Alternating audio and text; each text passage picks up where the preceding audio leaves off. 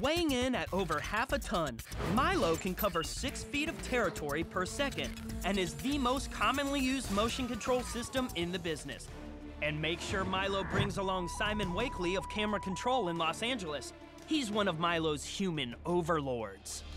So you were part of the development team? Yes, I was. I developed the software for the Milo. Oh, wow. Milo can get shots that need superhuman strength and accuracy, and it can repeat those shots perfectly every time. All right, Simon, show us what this bad boy can do.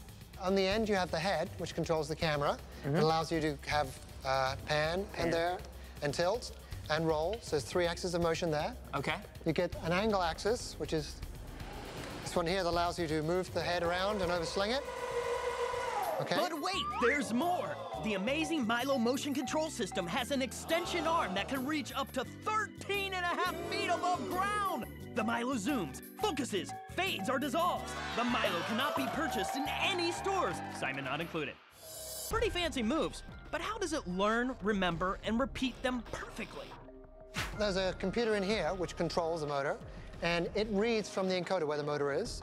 The encoder is this little gizmo. It keeps track of every turn of the motor and can tell you exactly what it's doing, down to one two thousandth of a turn.